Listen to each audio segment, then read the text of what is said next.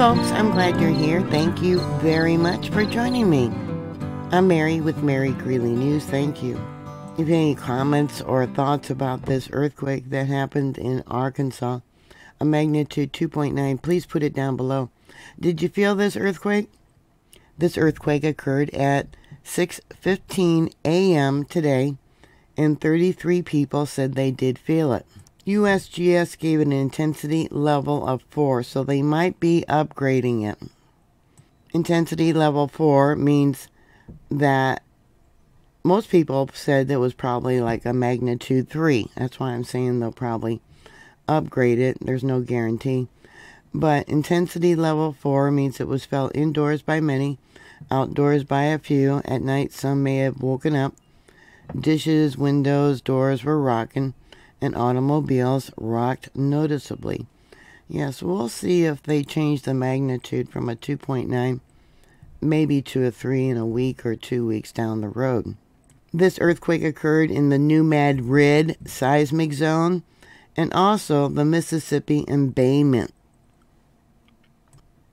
The Mississippi embayment is a physiological or physiographical feature in the south central United States, part of the Mississippi alluvial plain. It is essentially a northward continuation of the fluctual sediments of the Mississippi River Delta uh, to its confluence with the Ohio River and all the way up to Cairo, Illinois. So, in layman's term, terms, this is all fill. This is all sediment that has been deposited through the eons. And as you know, to those of you that follow me, this area was originally a rift that was going to divide up the United States. And that rift extended all the way down to the Gulf of Mexico and is now all filled in with sediment.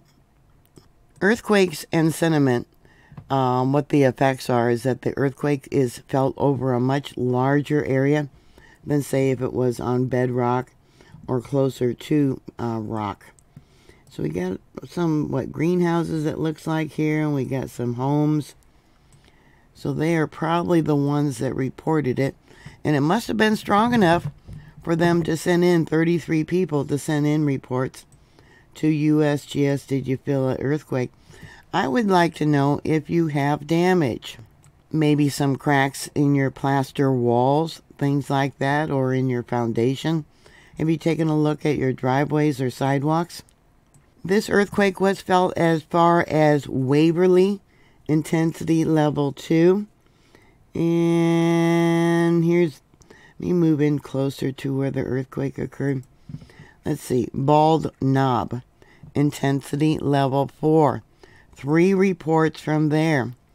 I'm surprised they even put it there. Let's see, what else do we got? Over here is Arlington. Intensity level 3, one report from there. And then Jacksonville. Intensity level 2, one report from there. So Waverly is 428 kilometers from where the epicenter happened. So that would be 265 miles intensity level 2, meaning they were probably resting, laying on a bed. Well, they probably hadn't gotten up yet, seeing how it was 6.15 a.m. in the morning. Felt like persons who had been laying down, especially on the upper floors. Delicate suspended objects may be swinging, even though they said it probably felt like a magnitude 2 to them. We also have another report from Ash Flat, which is 82 kilometers now that would be north, intensity level 2. So I think that's about 51 miles north. So yeah, it's interesting that this person all the way over here by Waverly uh, felt it with an intensity level 2.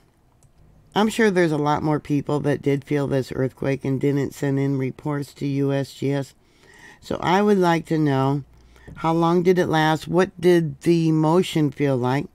Did you have any vertigo or was there any indication from your pets uh, that something was coming, something was odd?